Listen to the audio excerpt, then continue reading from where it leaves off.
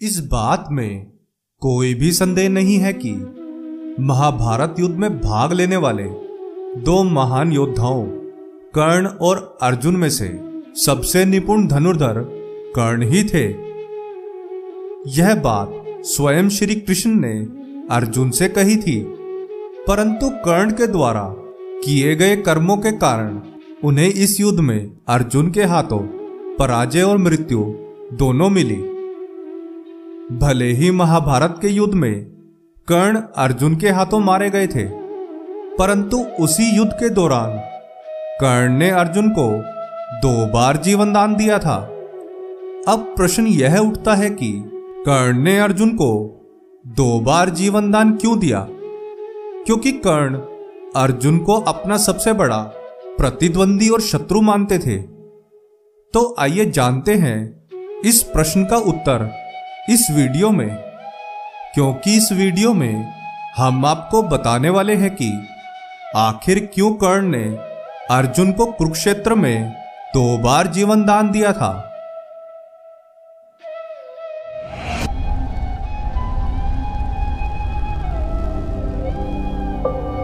प्रणाम मित्रों, ज्ञान और वैराग्य चैनल में आपका बहुत स्वागत है। यदि आपने अभी तक हमारे चैनल को सब्सक्राइब नहीं किया तो जल्दी से कर ले और वीडियो को लाइक करना ना भूले। तो आइए शुरू करते हैं आज का यह वीडियो। इतिहास में कुरुक्षेत्र युद्ध को धर्म युद्ध के तौर पर जाना जाता है, लेकिन इस धर्म युद्ध में छल करना एक आम सी बात हो गई थी। युद्ध में छल करने से कोई पीछे नहीं हटा। चाहे कौरव हो या पांडव। लेकिन एक ऐसा योद्धा था, जो इस धर्म युद्ध में धर्म के अनुसार ही युद्ध लड़ रहा था, जिसने कभी छल नहीं किया, और वह योद्धा है दानवीर कर्ण, जिन्हें देवता भी हरा नहीं सकते थे। कर्ण ने अर्जुन को कब और कैसे कुरुक्षेत्र में दो बार जीवन दान दिया था। वह बताने से पहले मैं आपको यह बताता हूँ कि अर्जुन ने कर्ण को किस प्रकार छल से मारा था। कर्ण के साथ हमेशा अन्याय ही हुआ। विद्या प्राप्त करने गए तो द्रोणाचार्य से मिला तिरस्कार। भगवान परशुराम ने उन्हें शिक्षा तो दी, लेकिन सब भूल जाने का श्राप भी दे दिया। अनजाने में जब उन्होंने एक ब्राह्मण की गाय को मार डाला, तब भी उन्हें एक श्राप मिल गया। युद्ध भूमि में वो सभी श्राप कर्ण पर भारी पड़ गए।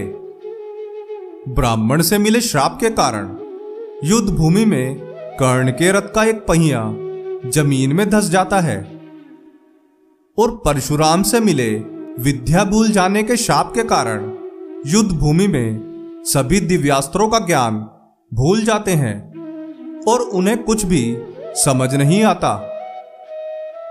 ऐसी हालत में कर्ण बहुत दुखी हो जाते हैं और अर्जुन से कहते हैं कि, हे अर्जुन, थोड़ी प्रतीक्षा करो, जिससे मैं इस फंसे हुए पहिए को निकाल सकूँ, जिसके बाद मैं तुमसे अवश्य युद्ध करूँगा।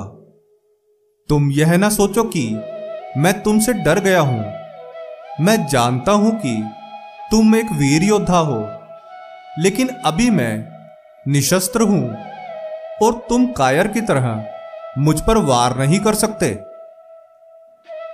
इतना बोलकर कर्ण अपने रथ का पहिया निकालने की कोशिश करने लगते हैं और तभी अर्जुन उन पर बाण चला देते हैं और उसी समय कर्ण की मृत्यु हो जाती है और छल से एक महान योद्धा का वध किया जाता है। मौका पाते ही अर्जुन ने कर्ण को मार डाला था। तो इस तरह छल से अर्जुन ने कर्ण का वध किया था। अब आप जानिए कि किस तरह से अर्जुन को दो बार कर्ण ने जीवन दान दिया था। महाभारत का सबसे भयानक युद्ध कर्ण और अर्जुन का अंतिम युद्ध था। कर्ण ने अपना सर्परूपी बाण अर्जुन का वध करने के लिए छोड़ा। इस बाण के छूटते ही समस्त आकाश जल उठा, जिसे देखकर श्री कृष्ण सोच में पड़ गए कि अब इस बाण से तो अर्जुन नहीं बच पाएँगे। और बाण के वार से अर्जुन को बचाने के लिए श्री कृष्ण ने खेल खेलते हुए अपने रथ पर एक पैर रखकर इतना ज़ोर दिया कि रथ थोड़ा सा मिट्टी में धस गया। और कर्ण का वह बाण अर्जुन के मुकुट के ऊपरी हिस्से को काटता हुआ निकला। और आश्चर्य की बात तो यह थी कि वह बाण कर्ण के पास वापस जाकर कर्ण से तर्क वितर्क करने लगा। कर्ण के द्वारा छोड़ा गया वह बाण क्रोधित अवस्था में कर्ण के पास गया और बोला, अब की बार जब तुम अर्जुन पर निशाना साधो तो ध्यान रहे कि निशाना अचूक होना चाहिए। अगर मैं लक्ष्य पर लग गया तो हर हाल में अर्जुन मृत्यु को पा जाएँगे, तथा उनकी रक्षा किसी भी हालत में नहीं हो सकती। इस बार पूरा प्रयत्न करो। तुम्हारी परीक्षा अवश्य ही पूर्ण होगी। कर्ण ने जब यह सुना, उन्हें बड़ा आश्चर्य हुआ और उन्होंने उस बाण से कहा कि, हे नाथ मेरे तर्कस से एक बाण सिर्फ़ एक बार ही निकलता है और मेरे पास और भी कई शक्तिशाली बाण हैं, जिनसे मैं अर्जुन का वध कर सकता हूँ। हे नाथ तुम यहाँ से चले जाओ मैं किसी और की ताकत से अर्जुन को नहीं हराना चाहता हूँ। एक दिन युद्ध में फिर से एक ऐसा वक्त आता है जिसमें कर्ण अर्जुन को आसानी से मार सकते थे, लेकिन वो अर्जुन को जीवन दान दे देते हैं। कर्ण और अर्जुन में बहुत ही भयंकर युद्ध हो रहा था। युद्ध के दौरान एक समय अर्जुन अपने बाणों से कर्ण को बेहोश कर देते हैं। बेहोश करने के बाद भी कर्ण को मारने के लिए अर्जुन कर्ण पर बाण चलाते रहते हैं और कुछ ही समय बाद कर्ण उठकर फिर से युद्ध करते हैं और अर्जुन को बेहोश कर देते हैं। लेकिन कर्ण बेहोश अर्जुन पर एक भी बाण नहीं चलाते और अर्जुन को जीवन दान दे देते हैं। अब तो आपको ज्ञात हो ही गया होगा कि कर्ण कितने महान योद्धा थे और उन्होंने कुरुक्षेत्र के युद्ध के मैदान में किस प्रकार अर्जुन को दो बार जीवन दान दिया था।